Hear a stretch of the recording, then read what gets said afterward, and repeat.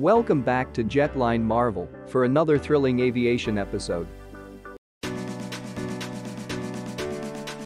As per a recent report, India's Tejas Mk2 program has hit a roadblock despite receiving clearance from the Indian Ministry of Defence's MOD Cabinet Committee on Security.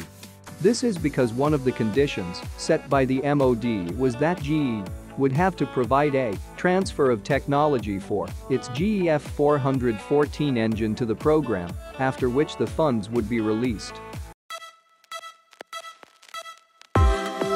LCA Tejas Mark II is constrained by problems with engine choices.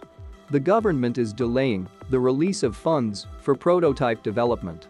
The GE response to the transfer of technology condition is anticipated by the HAL project team. But unfortunately, no interest has been shown in it by the United States. This delay in the release of funds, which has now stretched beyond a year, could have significant repercussions for the program's timeline. The program is now facing the possibility of further delays in the rollout of the prototype and the first flight. Given the complexity of modern fighter aircraft, engine technology is a crucial element that cannot be compromised. Therefore, it is crucial for the Indian MOD to provide the necessary funds for the program so that the transfer of technology can be obtained from GE and the Tejas Mk2 can progress as planned.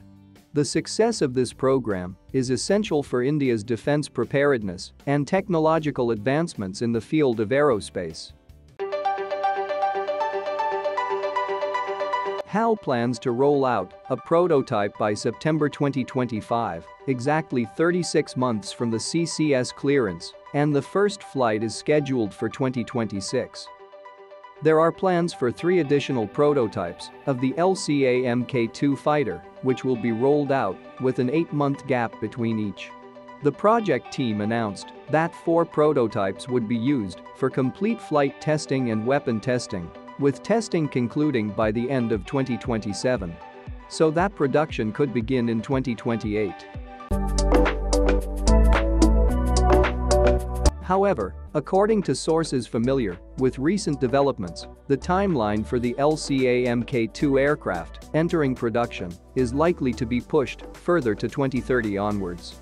Two years is too short of a duration to complete both flight testing and weapon testing, as the first two years may be required solely to obtain initial flight certification for the aircraft.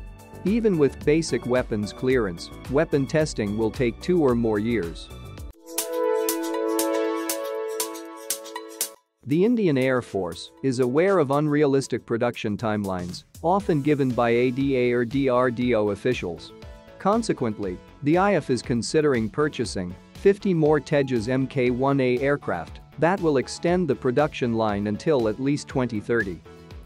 The IAF has identified the LCA Mk2 as a crucial component that will eventually fill a critical gap in the fighter squadrons of the Indian Air Force as the MiG-29, Mirage 2000, and Jaguar fleets retire over the next decade.